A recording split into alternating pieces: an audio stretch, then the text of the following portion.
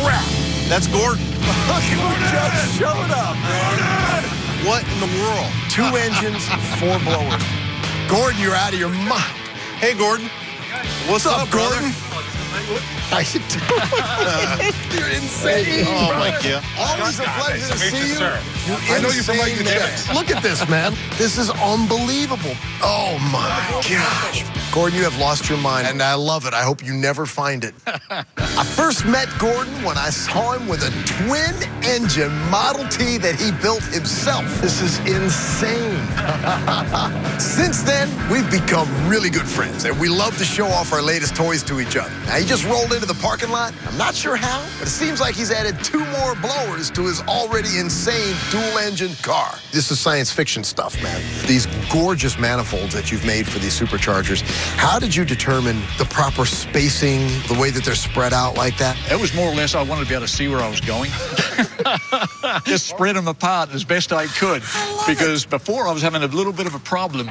Started out with a 1927 Model T Roadster. I initially built it with the two engines and two superchargers. And then just recently I decided, you know, hey, let's up the ante a little bit and uh, we'll add two more superchargers.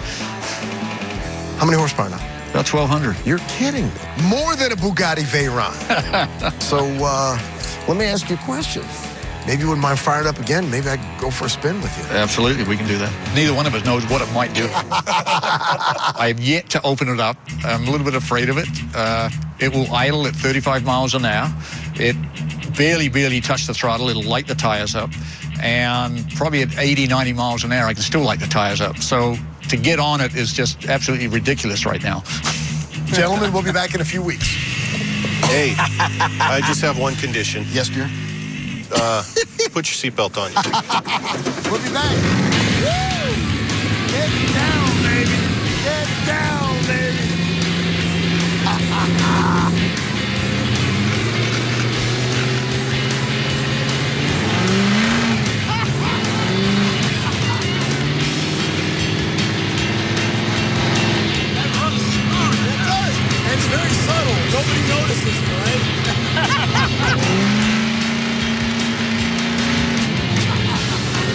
I love the look on people's faces as this goes by.